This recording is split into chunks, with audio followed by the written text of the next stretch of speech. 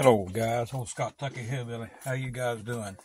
I'm fixing to go down an avenue that I've never went down before. I'm going to start getting into shot shell reloading. I've been reloading metallic cartridges probably off and on. I took a little spell there and I had my kids in the 80s that I didn't, but I started in 81, maybe 1980 with an RCBS rock chucker, and I've been reloading ever since. Uh, you know, just metallic cartridges, rifles, and pistol. Um, shotguns, I thought I'd get a kick out of reloading. What I'm getting to is just the uh, it's, it's relaxing time for me. It's like what I used to get when I used to go play golf. Uh, it's just me and doing what I'm doing. I'm not thinking about nothing else, just doing this, and it's kind of relaxing in my time to get away from everything.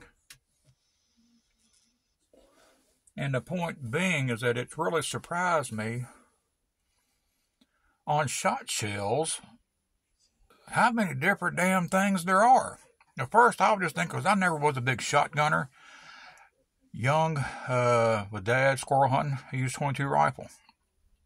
We didn't do much rabbit hunting because daddy got rid of the dogs. Time I come along, coon hunting, we took a rifle. Uh, groundhogs with 22 Magnum. Uh, or 243, depending how far it was out there. You know what I'm saying? I just never was much of a shotgun person. Besides just buying some damn seven and a half shot or slug once in a while, because we've always been able to use a rifle for deer hunting here in Kentucky, so I never used a slug for hunting.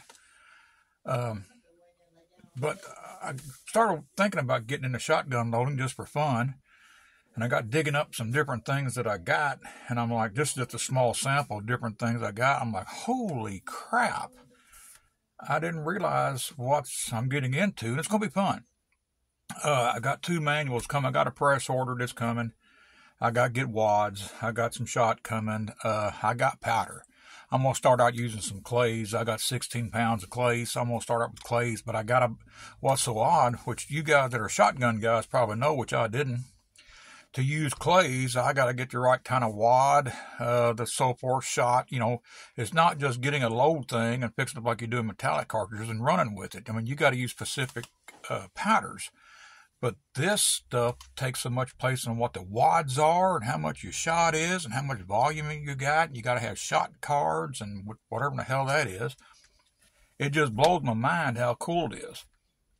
Uh, and just a difference. I'll start over here at the end over here, which is probably not on camera, and I hope it shows up. This is just some Federal Dove and Game. Then I hang just seven half shot light loads. But it's got an eight point. I know some of them got different crimps. You got an eight crimp, you got a six sided crimp, which is cool. This is just a light load. Uh, I never did understand about the dram crap and all that. I understand grains and ounces and stuff, you know. But then you got a damn. Here's a wolf. This is a, I like to shoot this load. This is a nine double aught buck. Uh, hell, I don't even think they even say how many feet per second this is. I might shoot some through a chronograph if I can see the wadding in there. But then this has got an eight-sided crimp, which is cool. But then you got some. Uh, I got some Feder up here, which is number five shot. A bit different size shot, different size BBs, and uh, this is two and three quarter. I don't even know if they got the feet per second on this one on here. A lot of them to do, a lot of them they don't. Uh, no, I don't have no info on this one right here. I had never shot none of that yet. Uh, I got different double aught buck. Here's a Fiocchi. I done lost the box. I don't know how much is. I like this is high velocity. This is 1300 something feet per second. I'm thinking, yeah, 13, 1330.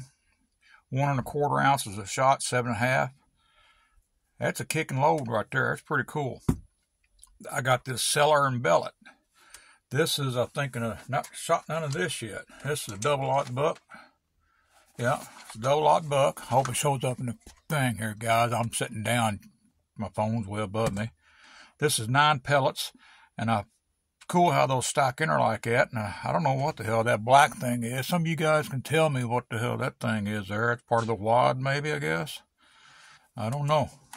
It just intrigues me what there is of these things. Then, of course, you got your slugs. This is a Federal TruBall. This is a low recoil slug. 1,300 feet per second, which for a slug it is. And I don't know how to do this roll crimp. My press I got is just got the regular eight sided or six. Because here's one here, this Fiocchi, if you can see, guys. Hope it's showing up there, damn it. Uh, six there. And then some of these others, say like uh, this one over here, that's an eight sided crimp, which I thought was cool, you know. Uh, got different slugs. Here's a Ranger rifle slug I got. It's in two and three quarter, about 1200 feet per second, a little lower recoiling. Here's a Winchester Defender. I can't believe how much of this, but you can do all this crap, guys. What freaks me out. This has got a one ounce rifle slug and three double aught buck pellets. This is my home defense load here beside my double aught buck. I like this. That's why this is what's in my Mossberg for my home defense. Thump somebody right square in the ass with that.